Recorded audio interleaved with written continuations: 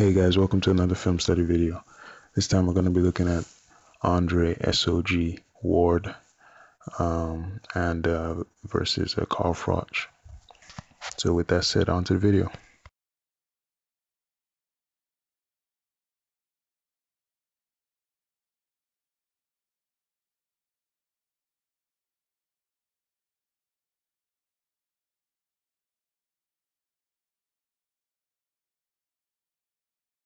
Okay, so here in round one, uh, you see how uh, Andre Ward actually sets up a, a, jab down to the body.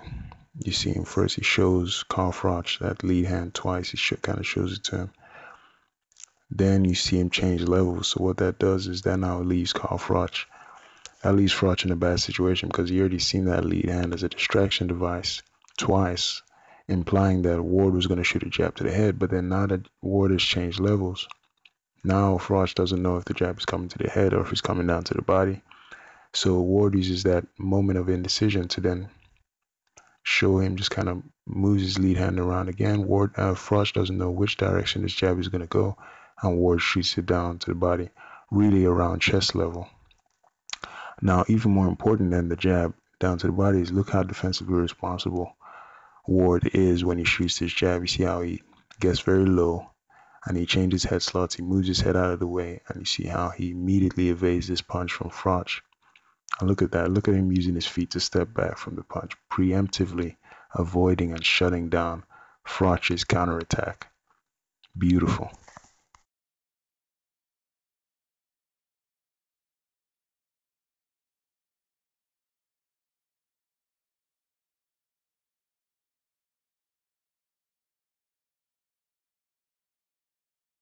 Here you see Andre Ward establishing range with his lead hand. You can see him using his lead hand to establish range in case he has to come with a jab or with a right, with a straight right.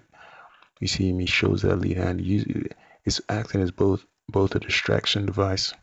He's using it to occupy Carl Froch's uh, guard upstairs. You notice how Carl Froch gets a little bit jumpy, gets a little bit kind of, uh, you know, uneasy every time he sees that lead hand. And then you see Carl Froch shoot his jab. Andre Ward just pulls from the jab, just pulls from the jab and just comes back with his own jab. This is the difference between a good fighter and an elite fighter. Um, a good fighter, you know, he has all these things. An elite fighter like Andre Ward will make you miss, and then he'll counter you after you miss, and then immediately goes into some form of clinch uh, to prevent Froch coming back.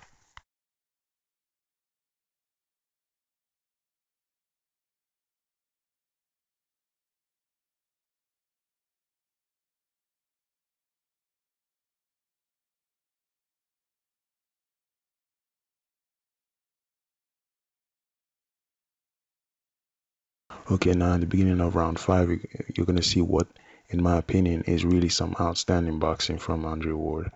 Um, really, everything that combines to make you an, an elite fighter. So you, you see a very, very smart fighter by the name of Andre Ward begin round five by shooting a jab down to the body. Right? You see him shoot the jab down to the body. Uh, but off the jab to the body is where the magic really begins because you see Andre Ward using something which I talk about all the time, which is head control. So here you see Andre Ward actually put his hands on Carl Froch and control Carl Froch.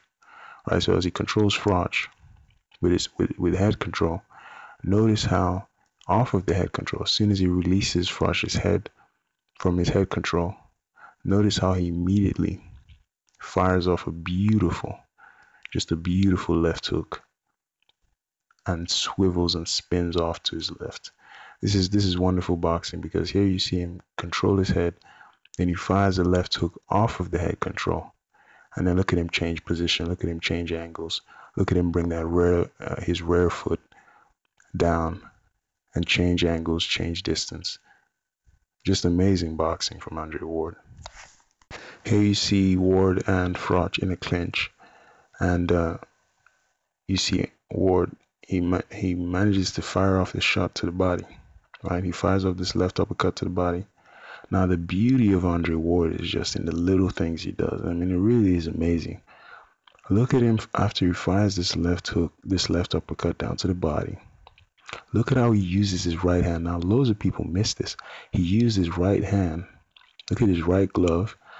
He how he uses that to control Carl Froch. He keeps Carl Froch in the same position with his right hand. Notice his right hand is performing is performing some form of control on Carl Froch's position. After he controls Carl Froch, notice how he uses that opportunity. He uses the opportunity of controlling Froch to change positions. Watch his feet movement. Look at look at how he moves off to Froch's right side. Well, sorry, to Froch's uh, left side, but your right side as you're watching Andre Ward. Notice how he takes a step to the right. And off the back of that step, he shoots a left hook. I mean, what can I say about a guy like this? So you mean to tell me that he's able to fire off a body shot? Then he's able to use his right hand to control this guy. He controls this guy and then he takes a step, just a small step to the right, changes angles completely, and fires off a beautiful left hook. And I look at him defensively responsible. Now, what what do you, what do you see Ward doing here? He covers up. I look at him bobbing and weaving, even though Froch isn't shooting any punches. Now, this is what an elite fighter does. He's preemptively protecting himself in case something was coming back. Beautiful boxing. Here you have a guy shoot a jab. So Ward, Andre Ward shoots his jab. Now notice how as soon as he shoots that jab, he kind of leaves it, just kind of leaves it hanging, and he moves his hand, his left hand. Watch his left, his his jab hand. He moves it to to, to control Froch's left shoulder right? He momentarily controls Froch's left shoulder. Shoulder. This prevents any return fire from Froch at this particular time. But as soon as he goes from that, like a laser guided weapon, his left hand goes from controlling Froch's shoulder momentarily, like a laser, to his head, and immediately begins head control of Froch. I talk about head control all the damn time because it's just that important. And as you see the head control, the beauty of this is he moves from the head control. Look, oh my goodness, oh I'm Amami. Look at the as he's controlling Froch's head. Look at the look at how he's moving and changing position and angles. Look how he takes that side that slight step to his right, and then look how he look how he changes positioning and then fires his right hand across. And look how he loads up on the punch as well to fire that punch across. The beauty about what you're seeing here is that he's a technician. What he's done is from controlling Froch's head and taking this quick sidestep to the right, he's changing the weight of his body to the right side of his body. And then he's able to then pump that weight through his arms into Froch's face via the right cross. And then now the weight is now on the left side of his body. This is beautiful to watch. He is a technician.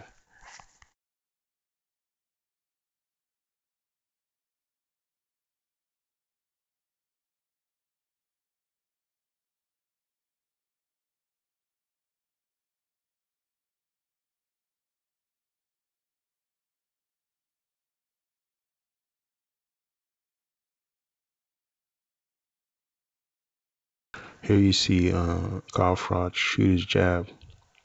Right, he shoots his jab. Andre Ward is just watching both of those shoulders, just watching what's, what what Froch is gonna do. Can read him like a book. War, uh, Froch shoots his jab. Andre Ward slips that jab and also parries it as well for good measure. He puts his um, right glove in there, like in the parry. He kind of parries the jab as well. He slips it and he parries it for good measure. Then he comes back with his right hand. Comes back with his right hand, catches um Froch at the top of his head, kind of around his temple area. Froch also tries to protect himself, but I don't think he protects himself. I think that punch gets through. So Ward catches him, and then the beauty of this is is a combination. So that right hand comes over the top, and then you have that left, beautiful left hook or left uppercut right down the side, catching Froch clean. The whole time, Ward is defensively responsible. He's holding the phone with his right hand. Uh, comes across with a with a right cross around the side of the head, goes to the back of Ward's head. Ward is completely untouched, and then here you see Ward finish off with a, a light uh, kind of jab as he peels off and avoids that right hand. So this is just just just summarizes one fighter being completely outclassed by another one. Um, and Ward just completely beat this guy on the night. Just quicker, better skills, better boxing IQ. Everything was better. Uh, so yeah, thanks for watching, guys. Please like, comment, and subscribe. Um, and uh, on to the next one. Judges at ringside, John Stewart and Craig Metcalfe both scored about 115 to 113. Judge John Keane sees about 118 to 110. All three in favor of the winner. He is now the Super 6 World Boxing Classic champion. He is now the unified